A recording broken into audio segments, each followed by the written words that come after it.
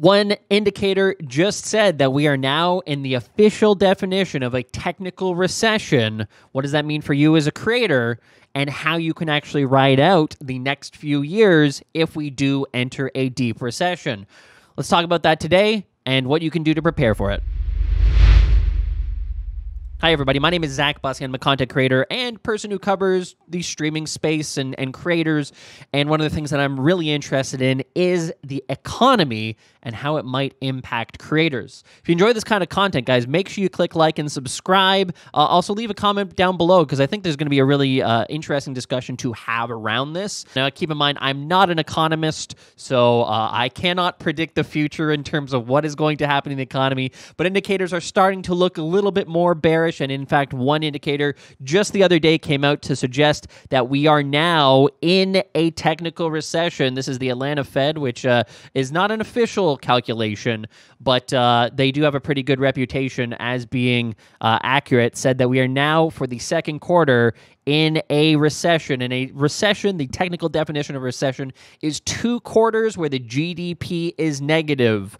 Uh, and here's Forbes talking about that. Are we already in a recession? Yes, according to the Fed indicator, with an excellent track record, and basically talking about this GDP now uh, forecast. Again, not an official number, but it is a number worth noting. I had tweeted this out back on June 15th. Uh, there has never been an economic downturn in the influencer creator era, 2009 until today. Obviously, everybody knows the 2008 economic crisis. Uh, uh, I, I, think everybody does. Uh, so, what will the impact of one be on creators? Now, we are are in a really interesting situation globally in terms of the impacts of the pandemic and what they have had on the economy. In terms of uh, a record amount of money printing, in fact, uh, 80% of US dollars were created since the pandemic began. And that's not unique to the United States, by the way. Countries around the world, Australia, uh, the Eurozone, Japan, Canada, they have all been very, very active in creating additional money in order to not allow the supply to completely, uh, uh, sorry, not the supply, the liquidity completely dry up and allow things to continue functioning as a normal society, uh, which is why we are seeing massive inflation. Anybody who's gone to the store recently probably has been shocked by the prices of things, particularly food. Um, now I know that there's a meme going around that's uh, everybody says thank you Biden or, or thanks Biden for this kind of uh, uh, inflation, but this is a global issue. In fact, uh, Russia's uh, uh, current uh, inflation rate is 17%, Spain 10%, the UK 9.1, Canada 7.7, the euro uh, area 8.6, Italy 8%, 8%, Germany 7.6 this is just a global issue. The only country that doesn't seem to be having any kind of inflation is, in fact, China which is kind of intriguing. Now, other things that have obviously caused uh, an economic impact are the supply chain issues, China's lockdowns that occurred. Uh, uh, we have uh, issues of of employees actually wanting to be paid a fair wage for the work that they do. Uh, so, uh, all kinds of issues. The, the, the issues are ongoing and, and, and continue to be a problem. And we're still in a pandemic where people are getting sick into hospital and dying. So the the reality is we are in a very very unique situation uh, rather precarious all things considered in terms of the global order. And, and and that's not even me mentioning a war that is currently occurring in europe I could probably make an entire hour long video talking about all the various economic issues uh, and how they play into various supply chains and such. I'm not going to do that because I think that would bore you guys a little bit too much. So let's talk about the creator economy because that's what we're here for today. That's why I presume a lot of you are watching, is you are content creators yourself or you're interested in this space and you want to know what happens next. Well, we're actually already seeing the impact of what could happen at a much larger scale in an economic downturn. Uh, here is uh, Hunter who shared sources. Over 20 people have been laid off from TSM today. Her have heard it partially could be related to TSM's failed crypto investment strategy. Obviously, in a recession or in a economic downturn, the riskier assets, the riskier businesses, things like Tesla, things like Netflix, all these kind of riskier tech businesses, they're the ones who get hit hardest and first but ultimately ends up impacting the entire economy overall. Uh, this is Watcher Guru saying just in Coinbase has lowered payouts to social influencers due to market conditions. Again, the canary in the coal mine. Cryptocurrency being very speculative, being very risky, being one of the first to actually experience significant uh, drawdowns. Uh, we actually have an entire website here dedicated to layoffs, and uh, just so far in 2022, 300 startups have laid off 46,000 people just so far. Just so far and, I think as creators, one of the things that we can best look at, because again, as I said, we have never been in a situation where the economy has had a downturn as the content creation sphere has exploded. There's YouTubers, there's TikTokers, there's there's Instagrammers. We have all these different things. They've never, we've never experienced an economic downturn. So I think it's important to kind of look at uh, uh, places like Netflix or Disney, which are actually actively uh, kind of cutting costs. They're tightening their belts already to try to weather a storm, an economic storm that may be coming. Had this post by Miguel Lazada of uh, his partnerships at Elgato saying creators, influencers, PSA. I've personally have had four of six quarter three, quarter four paid activations canceled last week. Doesn't mean panic, but time to start making sure you are prepared for a possible rough patch. Time to start thinking and planning now versus later. And finally, here is uh, Night.co. They are a, a talent representative uh, or a talent management company for our, some creators that uh, I'm sure a lot of people know here. You're going to see a lot of recognizable names and faces. Uh, they recently sent out an email to their content creators saying, Night creators, this is the note on the state of the economy, how we think it'll impact you as a creator, and how we suggest you navigate these choppy waters to come out stronger on the other side. First, some context on what's going on. For several reasons, supply chain issues, et cetera, et cetera, et cetera. Things were a lot more expensive. Inflation hit 8.5%. It has since gone up. Uh, the stock market is down. Ads, your core revenue stream will take a hit. And they actually have some suggestions here plan for less volume. Ad spend globally across creator platforms will contract as marketers tighten their budgets. Plan for a 15 to 20% compression in RPMs. That is uh, a, a, rate that you get paid on YouTube. Uh, for the next 24 months, a 15 to 20% drawdown in your ad revenue for 24 months. On the brand deal side, we strongly suggest you hold rate cards even, which means do not devalue yourself. And again, these are speaking to their top creators. Uh, defend your value in the market. Your value to brands has not gone down. In fact, you can argue, given the changes in the ad world, your reach and authentic fan engagement has become more valuable. That said, you should plan to see 20 to 30% fewer opportunities.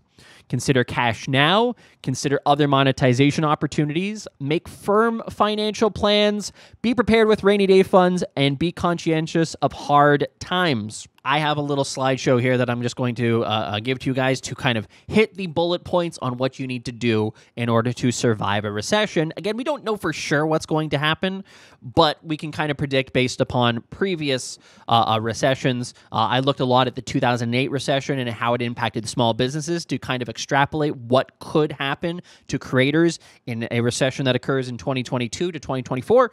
Uh, and here are my suggestions to you. Number one, hold cash in hand now. Don't invest in risky things. Obviously, do not go out there and purchase Dogecoin expecting to do it, it to hit a dollar. It, uh, holding cash. Cash is king. You're going to want to cut your costs as much as possible. If you've been meaning to cancel Disney Plus or Netflix for a while, but you simply haven't done it, now's the time to do it. Save a few bucks here and there. Build up your savings. Uh, uh, again, it, don't go out and spend a lot on things that you don't actually need. It's time to hold cash and wait for opportunities to buy later on once prices are down or the economy is starting to recover. And lastly, create a budget. Don't just live your life without a budget. You absolutely have to have a plan on how you're going to spend your money and where you're going to spend your money. Two, diversify now, otherwise, you'll be forced to later and that'll be a lot harder to adjust to later on. Uh, things like Fiverr, Etsy, merch store, Patreon, OnlyFans, FanHouse, all these different opportunities to actually diversify your income now are so crucial. I've been screaming about this for probably two years now, no longer than that, three, four years.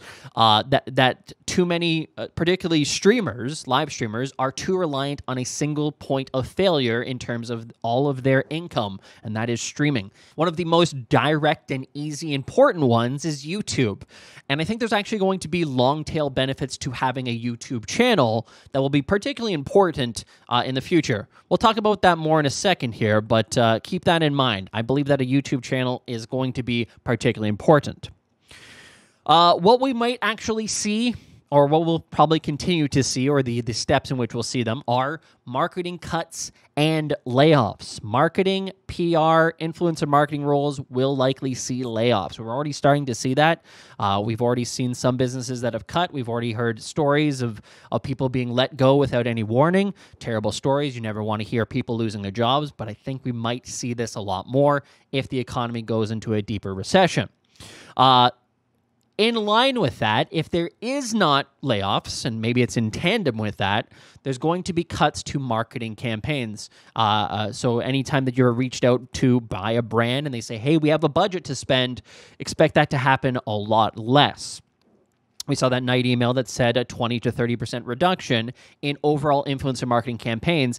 It's important to note that that was, again, speaking to top creators Mr. Beast, HasanAbi, all these kind of giant creators that are probably going to weather the storm no problem. They're not necessarily worried about cash. Uh, as a smaller creator, you absolutely have to recognize that the, the impact is going to be much more significant on smaller creators than it is on big ones. Next, and this is going to be the toughest one that I think you're going to have to deal with as a creator community layoffs.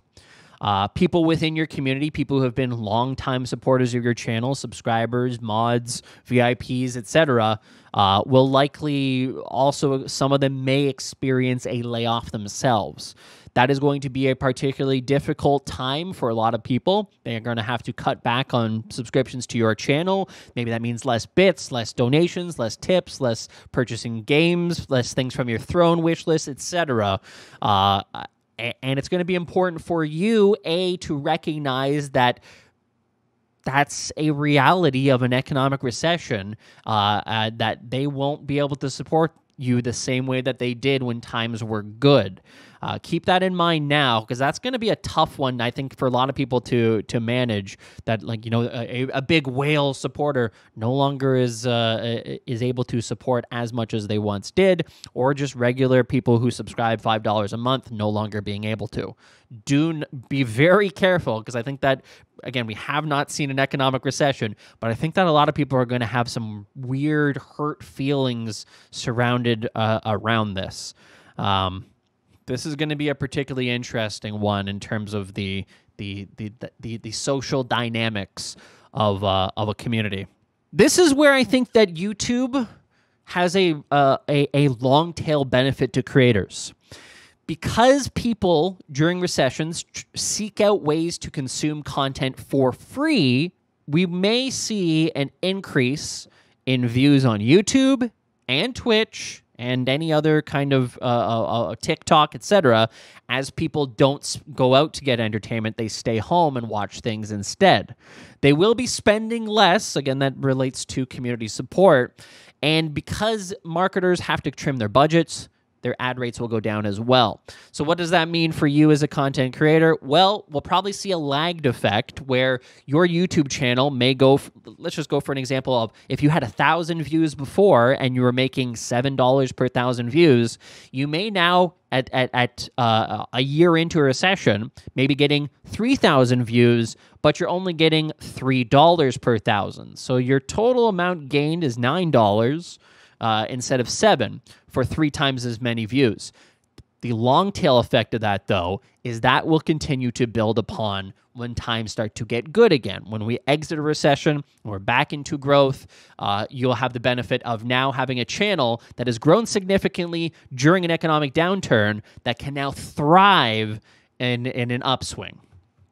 Recession proof sponsorships are something that people should be considering and looking at right now. There's a lot of recession proof industries that, uh, throughout history of recessions, have not experienced a, as significant a drawdown as others. Things like makeup, food, uh, clothing, any kind of, of, of, commodity, those kind of things that, uh, that are not an elastic demand that people always need to have those are the kind of companies that you should be looking at if you are trying to lock down a sponsorship.